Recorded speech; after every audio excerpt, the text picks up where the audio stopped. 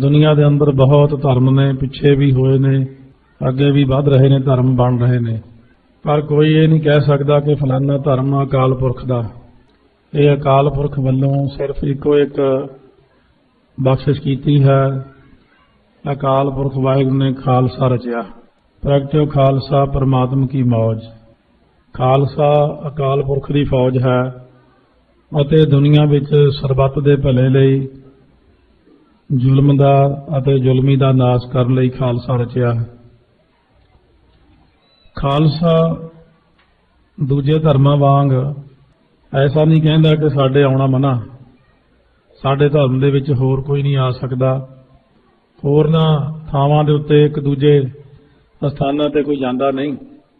ਇੱਕ ਦੂਜੇ ਵਿੱਚ ਦਵੈਸ਼ ਹੈ, ਈਰਖਾ ਹੈ, ਨਫ਼ਰਤ ਹੈ।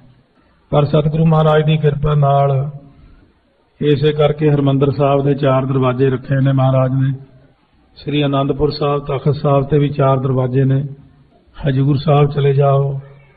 ਸਤਿਗੁਰਾਂ ਦੀ ਬਖਸ਼ਿਸ਼ ਹੈ। ਇਸ ਤਰ੍ਹਾਂ ਗੁਰੂ ਘਰ ਦੇ ਵਿੱਚ ਮਹਾਰਾਜ ਨੇ ਖੱਤਰੀ ਆਦਿਕ ਸਾਰੇ ਵੀ ਜਿੰਨੇ ਨੇ, ਚਾਹੇ ਉਹ ਵੈਸ਼ ਹੈ, ਸੂਦਰ ਹੈ, ਬ੍ਰਾਹਮਣ ਹੈ, ਸਾਰਿਆਂ ਨੂੰ ਸੱਦਾ ਹੈ। ਕਿਉਂਕਿ ਇੱਕ ਵਿਸ਼ੇਸ਼ ਧਰਮ ਗੁਰਾਂ ਨੇ ਰਚਨਾ ਕੀਤਾ ਸੰਸਾਰ ਦੇ ਅੰਦਰ।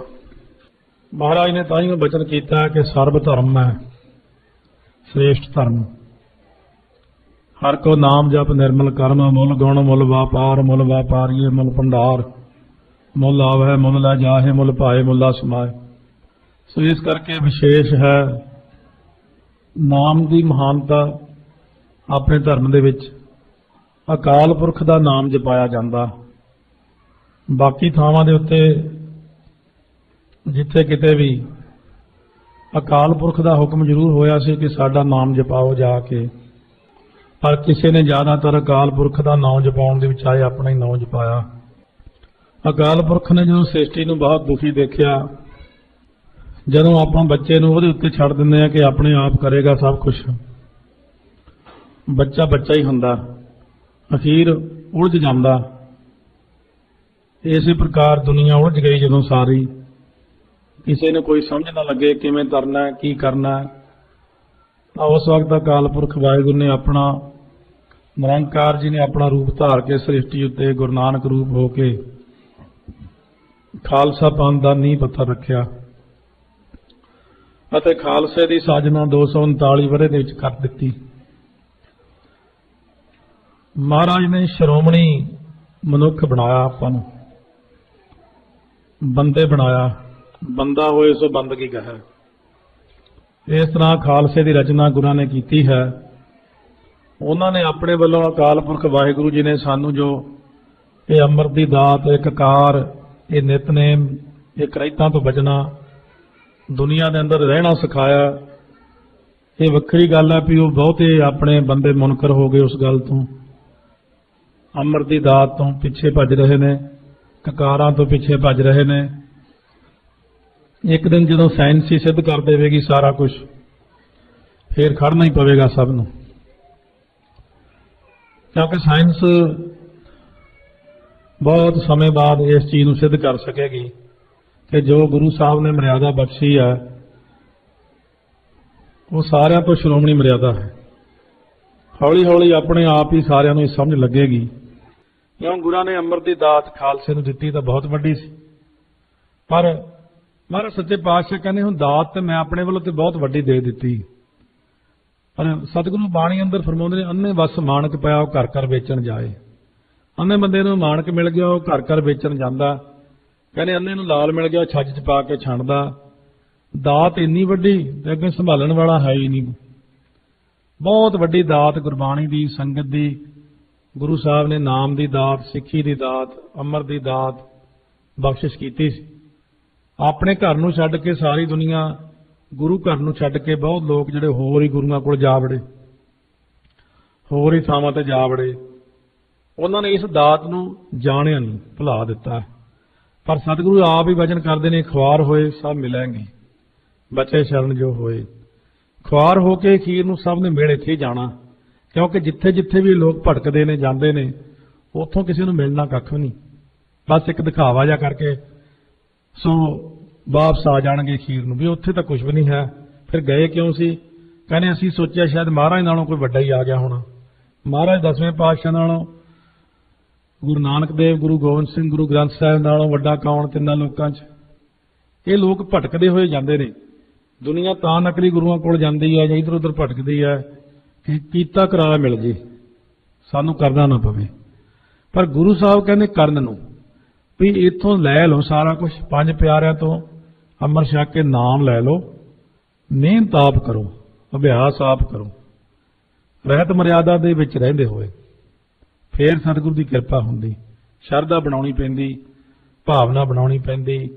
ਸ਼ਰਧਾ ਭਾਵਨਾ ਜਿਹੜੀ ਆ, ਉਹ ਸੰਗਤ ਵਿੱਚ ਬਹਿ ਕੇ ਗੁਰਬਾਣੀ ਦੀ ਕਥਾ ਸੁਣ ਕੇ, ਗੁਰਬਾਣੀ ਦਾ ਕੀਰਤਨ ਸੁਣ ਕੇ ਫਿਰ ਸ਼ਰਧਾ ਭਾਵਨਾ ਮਨ ਦੇ ਅੰਦਰ ਬਣਦੀ ਹੈ। ਸੋ ਮਹਾਰਾਜ ਨੇ ਅੱਜ ਬਹੁਤ ਸੁੰਦਰ ਉਪਦੇਸ਼ ਆਪਾਂ ਨੂੰ ਬਖਸ਼ਿਸ਼ ਕੀਤਾ ਹੈ। ਸ਼ਾਮ ਦੇ ਸਮੇਂ ਤੇ ਸਿਮਰਨ ਸੰਗਤ ਨੇ ਕਰਨਾ ਔਰ ਨਾਲ ਨਾਲ ਸੰਗਰਾਮ ਦਾ ਦਿਹਾੜਾ ਹੋਣ ਕਰਕੇ ਸ਼ਾਮ ਨੂੰ ਵਿਸਾਖ ਦੇ ਮਹੀਨੇ ਦੀ ਕਥਾ ਵੀ 10-15 ਮਿੰਟ ਕਰਾਂਗੇ, ਸਿਮਰਨ ਵੀ ਸੰਗਤ ਕਰੇਗੀ। ਜਿਸ ਕਰਕੇ ਸਤਿਗੁਰੂ ਮਹਾਰਾਜ ਸਾਡਾ ਭਲਾ ਕਰਨਗੇ ਸਾਰਿਆਂ ਦਾ। ਵਿਸਾਖੀ ਦਾ ਦਿਨ ਬਹੁਤ ਵੱਡਾ ਦਿਨ ਹੈ ਔਰ ਆਮ ਵੀ ਗੁਰਪੁਰਬ ਜਿਹੜੇ ਮਨਾਏ ਜਾਂਦੇ ਨੇ ਬਹੁਤ ਵੱਡੇ ਹੁੰਦੇ ਨੇ। ਕਈ ਇਹ ਜਿਹੜੀਆਂ ਚੀਜ਼ਾਂ ਨੇ ਆਮ ਨਹੀਂ ਕਿਸੇ ਪਤਾ ਲੱਗਦੀਆਂ। ਇਹ ਰੱਬ ਦੇ ਪਿਆਰੇ ਹੁੰਦੇ ਉਹਨਾਂ ਨਾਲ ਸਾਂਝ ਹੋਣ ਕਰਕੇ ਸਾਨੂੰ ਪਤਾ ਲੱਗਦੀਆਂ ਰਹਿੰਦੀਆਂ ਕਈ ਗੱਲਾਂ। 2 ਸਾਲ ਪਹਿਲਾਂ ਕੋਈ ਪ੍ਰੇਮੀ ਜੋ ਬਹੁਤ ਅਭਿਆਸੀ ਨੇ, ਮਹਾਰਾਜ ਦਰਸ਼ਨ ਵੀ ਹੁੰਦੇ ਸੀ ਉਹਨਾਂ ਨੂੰ। ਪਤੀ ਪਤਨੀ ਸੀਗੇ, ਚੰਗੇ ਅਭਿਆਸ ਵਾਲੇ ਸੀ। ਯੂ ਐਸ ਏ ਦੇ ਵਿੱਚ ਹੀ ਨੇ। ਤਾਂ ਫਿਰ ਉਹ ਵਿਸਾਖੀ ਵਾਲੇ ਦਿਨ ਤੋਂ ਪੰਜ ਕੁ ਹਫ਼ਤਾ ਪਹਿਲਾਂ ਕਹਿੰਦੇ ਸਾਡੇ ਘਰੇ ਮਹਾਰਾਜ ਦਾ ਸਹਿਜ ਪਾਠ ਰੱਖਿਆ, ਸਾਲ ਭਰ ਤੋਂ ਚੱਲ ਰਿਹਾ ਸੀ ਪਾਠ। ਥੋੜਾ ਥੋੜਾ ਰੋਜ਼ ਕਰਦੇ ਸੀ। ਕਹਿੰਦੇ 6-700 ਅੰਗ ਬਾਕੀ ਪਿਆ ਸੀ। ਮਹਾਰਾਜ ਦਸਵੇਂ ਪਾਤਸ਼ਾਹ ਕਹਿਣ ਲੱਗੇ ਇਹਦਾ ਭੋਗ ਪਾਠ ਦਾ ਵਿਸਾਖੀ ਤੇ ਪਾ ਦਿਓ ਭਾਈ। ਕਹਿੰਦੇ ਵਿਸਾਖੀ ਦਾ ਦਿਨ ਬਹੁਤ ਵੱਡਾ ਮਹਾਤਮ ਵਾਲਾ ਦਿਨ ਹੈ। ਖਾਲਸੇ ਦਾ ਜਨਮ ਹੋਇਆ, ਗੁਰੂ ਦੀ ਕਿਰਪਾ ਉਸ ਦਿਨ ਬਹੁਤ ਹੁੰਦੀ ਹੈ। ਕਹਿੰਦੇ ਮਹਾਰਾਜ ਅਸੀਂ ਤਾਂ 5-10 ਅੰਗ ਕਰ ਸਕਦੇ ਹਾਂ ਰੋਜ਼। ਐਨੇ ਤਾਂ ਅਸੀਂ ਪਾਠ ਨਹੀਂ ਕੀਤਾ। ਮਹਾਰਾਜ ਕਹਿੰਦੇ ਦੋਨੇ ਜਣੇ ਛੁੱਟੀ ਲੈ ਲਓ 7 ਦਿਨ। ਛੁੱਟੀ ਲੈ ਕੇ ਰਾਤ ਦਿਨ ਲੱਗੇ ਰਹੋ। ਪਰ ਪਾਉਣਾ ਭੋਗ ਵਿਸਾਖੀ ਤੇ ਹੀ ਪਾਉਣਾ ਇਹਦਾ। ਉਹ ਕਹਿੰਦੇ ਅਸੀਂ ਕਦੇ ਵੀ ਨਹੀਂ ਸੀ ਇੰਨਾ ਪਾਠ ਕੀਤਾ ਵੀ ਦਸ ਅੰਗ ਮਸਾਂ ਹੀ ਕਰਦੇ ਰੋਜ਼, ਪੰਜ ਅੰਗ ਦਸ ਅੰਗ। ਪਰ ਗੁਰੂ ਸਾਹਿਬ ਨੇ ਇਹੀ ਜੀ ਕਿਰਪਾ ਕੀਤੀ, ਕਹਿੰਦੇ ਸੱਤਾਂ ਦਿਨਾਂ 'ਚ ਸੱਤ ਪਾਠ ਆਪ ਕਰਵਾ ਲਿਆ ਮਹਾਰਾਜ ਨੇ। ਫਿਰ ਕਹਿੰਦੇ ਵਿਸਾਖੀ ਵਾਲੇ ਦਿਨ ਭੋਗ ਪਾ ਕੇ ਰਮਾਲਾ ਚੜਾਇਆ ਸੋਹਣਾ, ਪੰਜ ਪਿਆਰਿਆਂ ਨੂੰ ਪ੍ਰਸ਼ਾਦਾ ਛਕਾਇਆ ਔਰ ਨਗਰ ਕੀਰਤਨ ਵਿੱਚ ਵੀ ਕਹਿੰਦੇ ਅਸੀਂ ਗਏ। ਫਿਰ ਮਹਾਰਾਜ ਨੇ ਇਹ ਵੀ ਗੱਲ ਕਹੀ ਸੀ ਉੱਥੇ, ਕਹਿੰਦੇ ਨਗਰ ਕੀਰਤਨ ਵਿੱਚ ਪੰਜਾਂ ਪਿਆਰਿਆਂ ਦਾ ਸਤਿਕਾਰ ਤੁਸੀਂ ਕੀਤਾ ਜਾਂ ਇੱਕ ਹੋਰ ਮਾਤਾ ਆਈ ਸੀ ਉਹਨੇ ਕੀਤਾ ਸੀ। ਕਹਿੰਦੇ ਲੋਕੀ ਬਸ ਗੁਰੂ ਗ੍ਰੰਥ ਸਾਹਿਬ ਨੂੰ ਮੱਥਾ ਟੇਕੀ ਜਾਂਦੇ ਨੇ। ਕਹਿੰਦੇ ਜੇ ਪੰਜ ਪਿਆਰੇ ਮੈਂ ਸਾਜੇ ਨੇ, ਇਹਨਾਂ ਦਾ ਕੋਈ ਸਤਿਕਾਰ ਹੀ ਨਹੀਂ ਕਰਦਾ। ਕਹਿੰਦੇ ਜਿਹੜੇ ਪੰਜ ਪਿਆਰੇ ਅੱਗੇ ਹੁੰਦੇ ਨੇ, ਫਿਰ ਪੰਜ ਪਿਆਰੇ ਇੱਕ ਪਿੱਛੇ ਹੁੰਦੇ ਨੇ ਵਰਸ਼ਿਆਂ ਵਾਲੇ, ਨਿਸ਼ਾਨ ਸਾਹਿਬ ਵਾਲੇ, ਕਹਿੰਦੇ 10 ਜਿਹੜੇ ਪਿਆਰੇ ਜਾਂਦੇ ਨੇ, ਕਹਿੰਦੇ ਅਸੀਂ ਦਸੇ ਸਰੂਪ ਨਾਲ ਹੀ ਹੁੰਦੇ ਇਹਨਾਂ ਦੇ। ਇਸ ਕਰਕੇ ਅਸੀਂ ਗੁਰੂ ਗ੍ਰੰਥ ਸਾਹਿਬ ਦੇ ਅੱਗੇ ਅੱਗੇ ਆਪ ਸ੍ਰੀ ਸਾਹਿਬਾਂ ਫੜ ਕੇ ਚੱਲਦੇ ਹਾਂ। ਪਰ ਤੁਸੀਂ ਪੰਜਾਂ ਪਿਆਰਿਆਂ ਦਾ ਸਤਿਕਾਰ ਨਹੀਂ ਕਰਦੇ। ਇਹ ਸੁਨੇਹਾ ਮਹਾਰਾਜ ਕਹਿੰਦੇ, ਮੇਰਾ ਦਿਓ ਸਾਰਿਆਂ ਨੂੰ। ਨਦਰ ਕੀਰਤਨ ਵਿੱਚ ਪੰਜ ਪਿਆਰਿਆਂ ਨੂੰ ਜ਼ਰੂਰ ਸਤਿਕਾਰ ਨਾਲ ਫਤਿਹ ਬੁਲਾਇਆ ਕਰੋ, ਝੁੱਕ ਕੇ। ਫਿਰ ਗੁਰੂ ਗ੍ਰੰਥ ਸਾਹਿਬ ਨੂੰ ਮੱਥਾ ਟੇਕਣਾ। ਇਸ ਤਰ੍ਹਾਂ ਪੰਜਾਂ ਦਾ ਸਤਿਕਾਰ ਕਰਨ ਨੂੰ ਸਤਿਗੁਰੂ ਹੁਕਮ ਕਰਦੇ ਨੇ। ਸੋ ਸਤਿਗੁਰੂ ਮਹਾਰਾਜ ਇਹ ਵੀ ਕਹਿੰਦੇ ਨੇ ਕਿ ਜਿੱਦਣ ਕੋਈ ਪੁਰਬ ਹੁੰਦਾ, ਗੁਰਪੁਰਬ ਹੁੰਦਾ ਵਿਸ਼ੇਸ਼ ਉਸ ਦਿਨ ਜ਼ਰੂਰ ਪਾਠ ਦਾ ਭੋਗ ਪਾਇਆ ਕਰੋ, ਸਹਿਜ ਪਾਠ ਦਾ। ਗੁਰੂ ਨਾਨਕ ਸਾਹਿਬ ਦੇ ਗੁਰਪੁਰਬ ਤੇ ਵਿਸਾਖੀ ਤੇ ਦਸਵੇਂ ਪਾਤਸ਼ਾਹ, ਦੂਜੇ, ਤੀਜੇ ਪਾਤਸ਼ਾਹ, ਚੌਥੇ ਪਾਤਸ਼ਾਹ ਕਿਸੇ ਪਾਤਸ਼ਾਹ ਦੇ ਵੀ ਅਵਤਾਰ ਦਿਹਾੜੇ ਤੇ ਜ਼ਰੂਰ ਭੋਗ ਪਾਇਆ ਕਰੋ। ਨਹੀਂ ਤਾਂ ਉਦੋਂ ਕਹਿੰਦੇ ਜਪਜੀ ਸਾਹਿਬ ਦੇ ਪਾਠ ਕਰੋ, ਸੁਖਮਨੀ ਸਾਹਿਬ ਦੇ ਪਾਠ ਕਰੋ। ਇਸ ਤਰ੍ਹਾਂ ਸਤਿਗੁਰੂ ਦੀ ਕਿਰਪਾ ਹੁੰਦੀ ਖਾਲਸੇ ਉੱਤੇ। ਮਹਾਰਾਜ ਜੀ ਮਿਹਰ ਕਰਦੇ ਨੇ। ਜਿਵੇਂ ਅੱਜ ਵਿਸਾਖੀ ਹੈ ਤੇ ਸਾਰੀ ਸੰਗਤ ਨੂੰ ਗੁਰੂ ਘਰ ਦੇ ਵਿੱਚ ਸਾਰਾ ਦਿਨ ਬਹਿ ਕੇ ਸਿਮਰਨ ਕਰਨਾ ਚਾਹੀਦਾ ਸੀ ਅੱਜ। ਪਰ ਫਿਰ ਵੀ ਕੰਮਾਂ ਕਾਰਾਂ ਦੇ ਵਿੱਚ ਜ਼ਿਆਦਾ ਜੇ ਜੇ ਨਹੀਂ ਕੰਮ ਤੇ ਕੋਈ ਗਿਆ, ਅੱਜ ਸਾਰਾ ਦਿਨ ਪਾਠ ਕਰਿਓ। ਤਾਂ ਸਤਿਗੁਰੂ ਸੱਚੇ ਪਾਤਸ਼ਾਹ ਦੀ ਉਹਦੇ ਉੱਤੇ ਬਖਸ਼ਿਸ਼ ਹੁੰਦੀ ਹੈ। ਪੰਜਾਬ ਦੇ ਵਿੱਚ ਤਾਂ ਸੰਗਤ ਸਰੋਵਰਾਂ ਵਿੱਚ ਇਸ਼ਨਾਨ ਕਰ ਲੈਂਦੀ। ਪਰ ਇੱਥੇ ਸਰੋਵਰ ਨਹੀਂ ਹੈ ਕਿਸੇ ਪਾਸੇ। ਇਸ ਕਰਕੇ ਆਪਾਂ ਸਾਰੇ ਸਾਧ ਸੰਗਤ ਰੂਪੀ ਸਰੋਵਰ ਵਿੱਚ ਜੋ ਸ਼ਬਦ ਦਾ ਹੀ ਅਭਿਆਸ ਕਰਕੇ ਸੁਣਿਆ, ਮੰਨਿਆ, ਮਨ ਕੀਤਾ ਭਾਉ ਅੰਤਰਗਤ ਤੀਰਥ ਮਲ ਲਾਓ ਇਉਂ ਇਸ਼ਨਾਨ ਕਰੀਏ, ਅੰਦਰਲਾ ਹਿਰਦਾ ਸ਼ੁੱਧ ਕਰੀਏ, ਸਤਿਗੁਰੂ ਸਾਡੇ ਤੇ ਬਖਸ਼ਿਸ਼ ਕਰ। ਇਉਂ ਇਸ਼ਨਾਨ